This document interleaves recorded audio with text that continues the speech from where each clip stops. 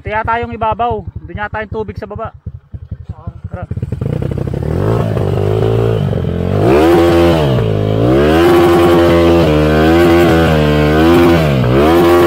Wala tayo sa timing.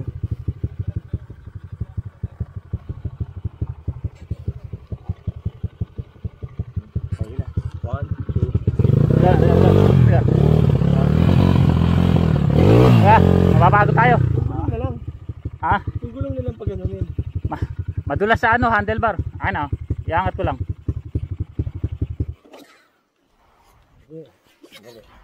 Ang nakakataw ah.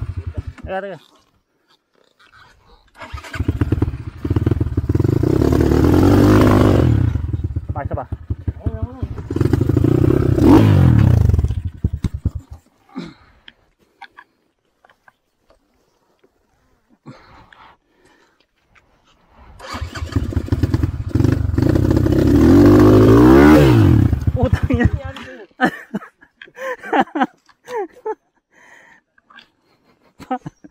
Papagod tayo eh. Umupo ka lang. Hinahin mo dito, i-rev mo lang ng konti. Ito nga ano yun.